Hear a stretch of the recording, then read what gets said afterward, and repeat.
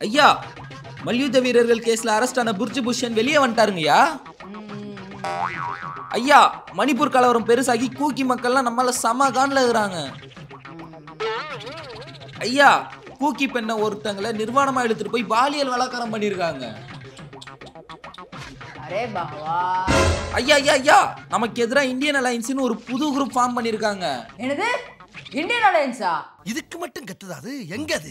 Array பையா இந்தியான்னு பேர் வச்சிருக்க எல்லா அலையன்ஸும் தீவிரவாத கும்பல் தான் அவங்களுக்கு இலக்கே கிடையாது.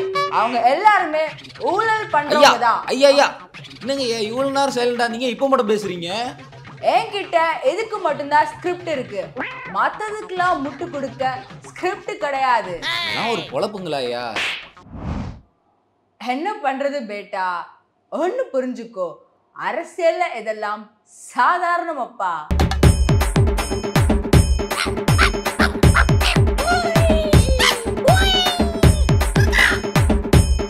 அரசியல்ல இதெல்லாம் சாதாரணமாப்பா கட்சி தான் யார் பொது செயலாளர்னே தெரியாம அங்கிட்டு இங்கிட்டு ரோல் ஆகி கிடக்குன்னு பார்த்தா கட்சியில இருக்கிறவங்க வாய் அதுக்கு மேல ரோல் ஆகி கிடக்கே ஈபிகோ முன்னூத்தி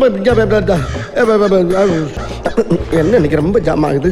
நம்ம அதிமுக பொருளாளர் திண்டுக்கல் ஸ்ரீனிவாசன் பொதுக்கூட்டத்துல என்ன பேசியிருக்காருன்னு பாருங்க. மறுபடியும் இப்ப தேர்தல் நடத்து அத்தனை பேரும் இருநூத்தி முப்பத்தி நாலு தொகுதியில டெபாசிட்டை எடுக்க வைத்து ஸ்டாலினை நாங்கள் மீண்டும் முதலமைச்சர் ஆக்குறோம். வாட் யூ சே திரும்ப சொல்லு.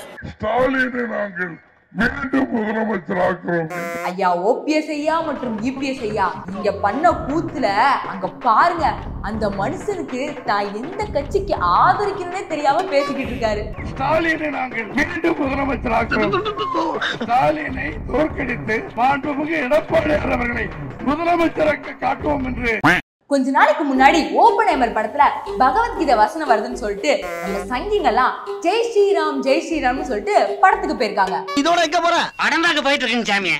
ஏண்டா மனுஷன் உட்கார்றதுக்கே சீட்டை காணா இல்ல குரங்க வர உள்ள கொண்டு போறியா? அங்க போய் பார்த்தாதான் தெரியுது நோலன் என்ன படத்துல பாம்பு வைக்காம சங்கிங்க சீட்ல பாம்பு வச்சிருக்காரு.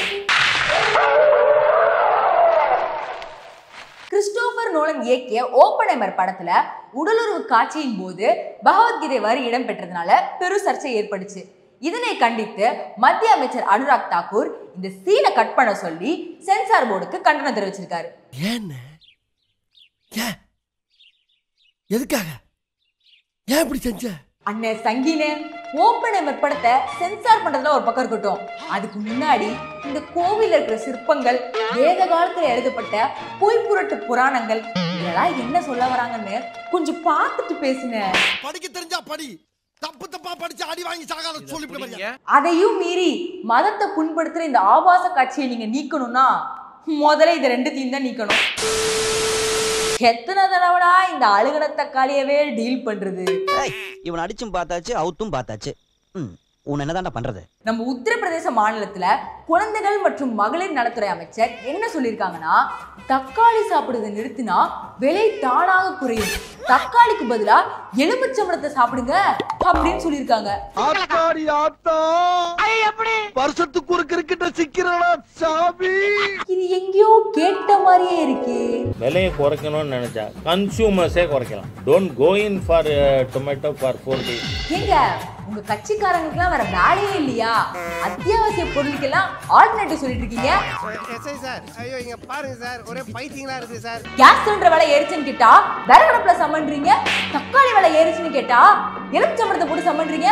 சரி வெங்காய விலை ஏறிச்சுன்னு கேட்டா நாங்களாம் வெங்காயமே சாப்பிட மாட்டோம்னு அப்ஸ்காண்ட் ஆயிடுறீங்க. நீ கேட்ட ஒவ்வொரு கேள்வி என்ன செருப்பால் அடிச்ச மாதிரி இருக்குடா. கொஞ்ச நாளாவே காணாம போன நம்ம வாய் பேச முடியாத குழந்தை இன்னைக்கு வாயை திறந்து குவா குவான்னு கதறி இருக்கு. அதாவது பிஜேபி நாடாளுமன்ற கட்சி கூட்டத்துல பேசிய மோடி எதிர்கட்சிகள் எந்த இலக்குமே இல்லாம செயல்படுறாங்கன்னோ எதிர்கட்சிகளோட கூட்டணி பேரான இந்தியாவை தீவிரவாத அமைப்பான இந்தியன் முஜாஹிதீனுடனும் தீவிரவாத அமைப்புன்னு சொல்லப்படுற பாப்புலர் ஃப்ரண்ட் ஆஃப் இந்தியாவுடனும் ஒப்பிட்டு பேசியிருக்காரு. என்ன பாஸ் பேசுறீங்க? மோடி சார் அங்க மணிப்பூரே நாசமா போயிருச்சு. உங்களை எதிர்பார்த்த எதிர்க்கட்சிகள்லாம் நீங்க எப்ப நாடாளுமன்றத்துக்கு வருவீங்கன்னு வெறிகுண்டு காத்திருக்காங்க. ஆனா நீங்க என்னன்னா அவங்க இலக்கு சரியில்லைன்னு காம்ப்ளிமெண்ட் கொடுத்துக்கிட்டு இருக்கீங்க. முதல்ல உங்க இலக்கு சரியா இருக்கான்னு பாத்துக்கோங்க சார் அந்த கிளைமாக்ஸ தூக்கில போடு. இந்த வீடியோ உங்களுக்கு பிடிச்சதுன்னா லைக் பண்ணுங்க ஷேர் பண்ணுங்க கமெண்ட் பண்ணுங்க. மறக்காம நம்ம டெமோக்ரஸி மீடியாவை சப்ஸ்கிரைப் பண்ணுங்க.